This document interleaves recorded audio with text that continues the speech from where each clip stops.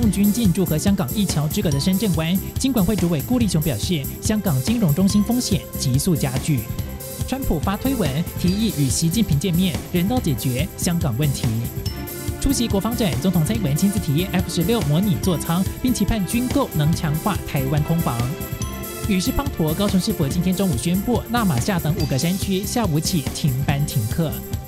更详细新闻内容，请锁定新唐人亚太晚间八点新闻。